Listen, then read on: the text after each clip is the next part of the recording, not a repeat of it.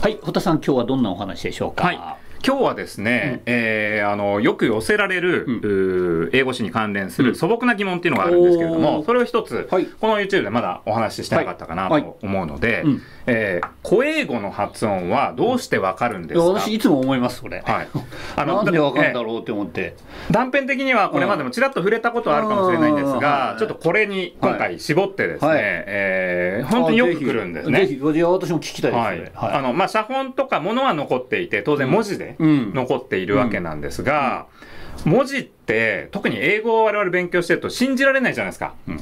その前もここで話したダウトの B とか、ね。つまり欺くじゃないですか。欺いて、適当に入ってるみたいな感じのね。1000年前の英語でもこういう欺くうん。スペリングがあったりするかもしれないし、うん。そのままいくらアルファベットだからといって読んでも、うん。その音なんだよっていうことは言い切れないし、うんそもそもたしあの合ってるか間違えてるかもうん。確かめる術がないので、気がしてました。わからないじゃないですか。はいはい。ですがあの私を含めて英語詞の研究者とか古英語をやってる人は、うん。いやこれはこう読むんだみたいなこう授業ではこう断定的にうん。この発音なんだっていうことが多いわけですよ。はい。本当はわかんないですよ。本当はわかんないんですがまあ、ただ、えーまあ、研究があって、うん。えーその発音の研究者が、まあ、大体この辺だろうっていうことで大きな反対は出ない。形でまとまったものが出てきているので学術的にはそれなりに信頼できるというかお墨付きがついていると考えて良いんですがあそもそも何をこうよすがにそうですよね。ね。考えるかっていう、はいところですね。はい。で一つはやっぱりアルファベットは音を表すとはいえ、うん。欺くことはあるので、うん。100%は信じられないっていうのは前提なんですが、はいただやっぱり何か音を表してるっていうう現実はあるので例えば漢字なんかよりはずっといいわけですよ。ですよね。ええ。それはそうですね。あの昔のうん音を復元するには、はいはい。スタートはそこそこ信じていいだろうっていうことなので、えーまずまあおおよそなんですね。例えば母音字で書いてあるのに子音で読むなんていうのはさすがに現代でもないですし、うんこれはちょっとないだろうっていうことになっていたりするんで、まあうんだいぶ絞り込まれますよね。なるほど、なるほど。はいええそこからまずスタートです。だから80%ぐらいはまあ信じて、はいえーそこからスタートするっていうことなんですが、うん残りの20%これをどう埋めていくかっていうことでこれはですねまあ本当にパズルなので、うんいろんなうーんと要素があります。でいわゆるディテクティブワークですかね、はい。推理はいしていって、はい。えー矛盾がないものが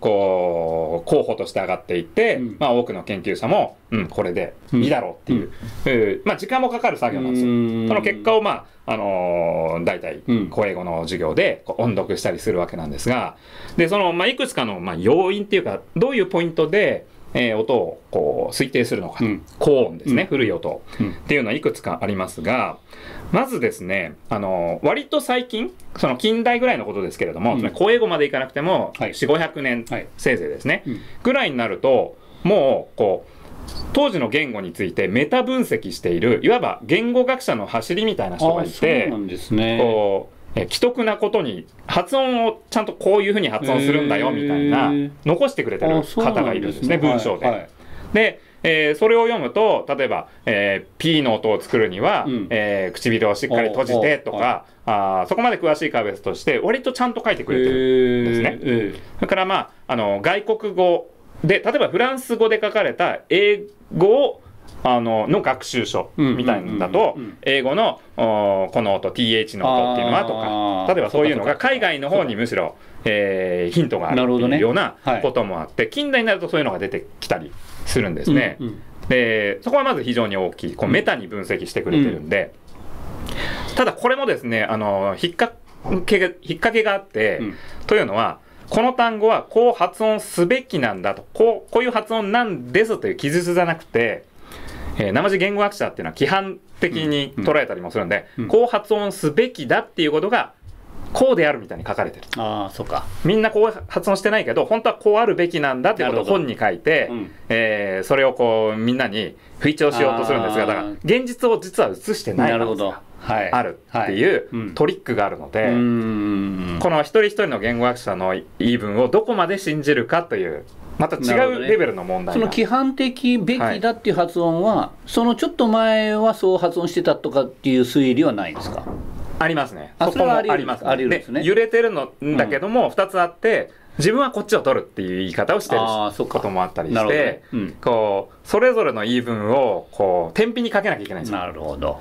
ここからして結構難しいんですけれども、なかなかな作業ですね。パズルなんですよ。なかなか作業ですね。ええ純粋にか単純にいかないっていうところがありまして、まあそんなのがありますよね。はいで、もう一つはですね、言葉遊びとか韻律ということで、これあの前にも YouTube だったと思うんですが、日本語のはいあの発音で、はいあのー室町時代、はい。えークイズがあると。ありましたね。五奈良天皇うん。が、あの、えークイズが好きで、はいはい。えクイズ好きだったクイズが好きだったらしいんですよ。あなるほどね。ね、それでこうお母には二度、お会えどお父には一度も会わず何かという、何ぞと聞いてでこれはあの唇と解くという、ね。有名なそうですね、はいえこういう、まあ、こんなに綺麗なものは英語の世界にはちょっとないんですけど。本当にできた話みたいな話ですよね。いや疑われますよね。本当に。うますぎてっていう、うん、すごはい。いいい、はい、い謎なぞええ。なぞあそういうのはないんですね、英語には。ここまで綺麗なのはちょっとないんですけど、ただ、その言葉遊びのしゃダジャレとか、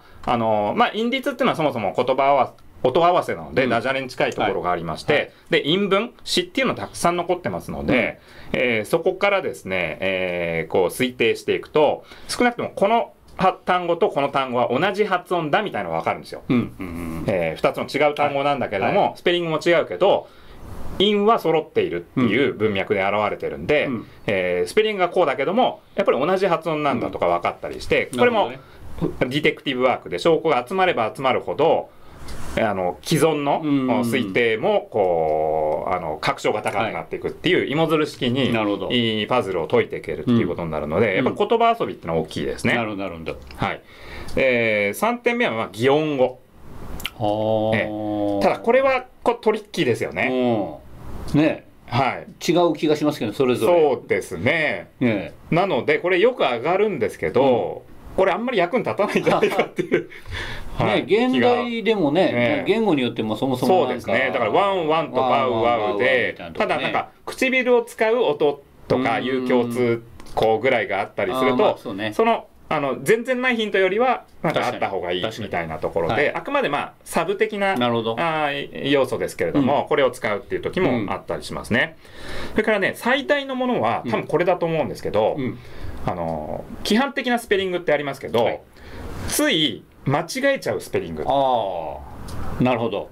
例えばダウトで B 書きますけあど、ー発音ではダウトなのに、なんで B 書かなきゃいけないんだっていう思いがあると、うんついついなんか書いてる時に B を書かないで、なるほどね。えーダウトと書いちゃうっていう、ありそうじゃないですか。はいはいはいはいはい。そうすると、それたまにしか起こらない、書き間違いなんで、たまにしか起こらないんですけど、そのたまに加減が本当にたまにっぽかったら、これ信じていいんじゃないかっていうう なかなかさじ加減がさじ加減が難しいんですけどね。ええーえでこれをこう、ショースルーと言ったりするんですね。本当の発音がこうたまたまちらっとこう現れてしまう。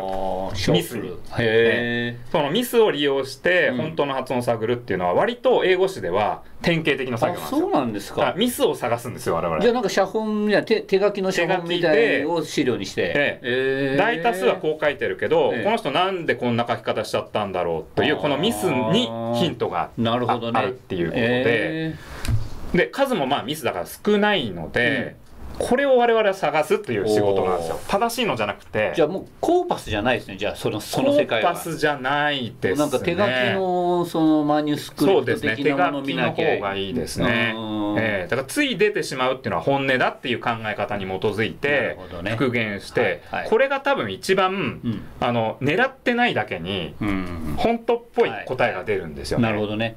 ええ。だから一番最初に言ったこの人何を考えてここの単語はこの発音であるべきだみたいに言ってんのかをこうクリティカルに紐解くよりもストレートなむしろこっちのという、これはよく使うんですよ。へえはい。ままあまああるわけですねじゃあ。まあまあやっぱり人まあまあ。間なので、あの少ないと言いましたがまあまああります。少なすぎるとねちょっと探すのも嫌になっちゃう、そうですね。たまには見つかってほしいですたまには見つかってほしいね、それぐらいはあるかな、ええ。あそれぐらいはある。例えばあの、まあ、前スルーの話しました。ねあはい。515と。515ですね。であれ GH ってことは昔はグって音があったんですよ。スルースルーなるほど。なるほど。ですがもうあの515通りのあのぐらいの時代から今風にも消えてたの音が。うーん。そうすると GH を書かないやつが出てくるんですよ。なるほど。書かないというとあこれ GH って書いてる人多いけど本当は発音してないんじゃないの？というねそういうこと、ね、理屈なるほど、が成り立つわけですよね。ということでこう通理上のバリエーションっていうのは、うん、こう本当の発音を見出すための多分一番大きな手がかりだということなんですね。まあ、はい、でもちょっと私から見ると気の遠くなる作業です。そうですね、うん、あの私一人でやってるわけではなくみんなみんなで、ね、みんながそれをやって、まあ、こう血が寄せ集まって、うん。この辺が答えなんじゃないか落としどころなんじゃないかっていうところですよね。ええ、あとはまあ方言とか、うん、あの例えばドイツ語英語とあの関連する言語ですよね。をこう比べることで、えー、昔はこんな音だったんじゃないかっていう、うん、まあこれ比較言語学の、うん、えー、手法だったりしますしあと音声学的には、えー、この音がこっちの音にな変わるってことはあるけれども逆はありえないとかいう鼓動形的なものがあったりすると変化の方向が分かったりしたりそれがあのやっぱりパズパズルを解くこう最後の、えー、一撃になったりサポートになったりするんでもう本当いろんな要因でもそこもやっぱり英語史の面白さですよね。そうですね英語史研究のね。そうですね。だからパズルディテクティブワーク的な面白さ、あがありますね、推理ゲームみたいなね。推理ゲーム、ね、そういうところが英語史の面白さだって人に言ってますけど、私。いや私はやってないけど、私はやってないけどそこが英語史の面白さだはい。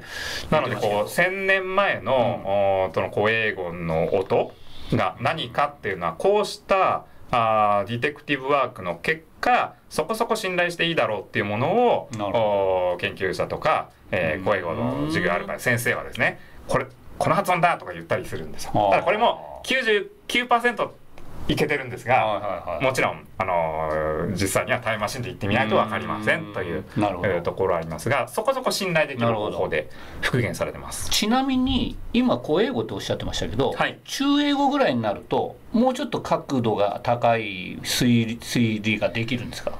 えー、そこも同じぐらい？時代が現代に近くなると楽になるかっていうと必ずしもそうでもないね、じゃあ今古英語の話っておっしゃったけど中英語でも同じことが言えて、はい、同じことが言えますね、まあ、テーブルコーダーもないしそうですね、ね、同じですね。まあ、むしろ200年ぐらい前っていう割と、うん、あの最近という言い方ですけれどもでもやっぱりまだ揉めてる問題っていうのが細かいところではあったりしますよね。ねえーうん。まあ、ただ例えば近代英語のある発音が分かってますと、うん、でえまあ、いろんな都合で古英語の発音が分かってますっていうと、うん、挟み込むようにして中英語はこうだろうなとかこうこういう方向の推論っていうのもあったりして、ね、本当にパズルそのものだと言っていいと思うんですよね。いや面白いですね、はい、こんな形で、えー、まあ大体発音が復元できるんだということで、なるほど。お話、えー、しておきたかった。だいぶわかりました。はい、ありがとうございます。ありがとうございます。